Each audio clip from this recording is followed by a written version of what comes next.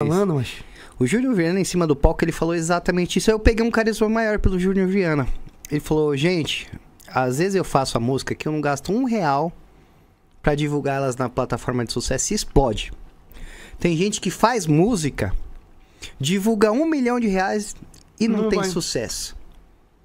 Eu tava num show e ele falou, gente, às vezes não adianta você investir quando não é da vontade de Deus. E aquilo, sabe quando toca em você assim? Foi, puta, esse cara falou pra mim, cara.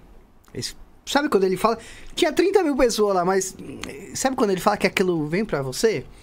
E eu acho que você tá falando isso é real, cara. E, e eu te dou até o exemplo que o Thierry falou sobre isso do Spotify. Pô, é, é, quem tinha que, que tá no Spotify realmente são os melhores, né? não quem tem dinheiro pra pagar. Né? E aquilo tocou em mim, assim, eu falei, poxa, é real isso aí, cara. Eu-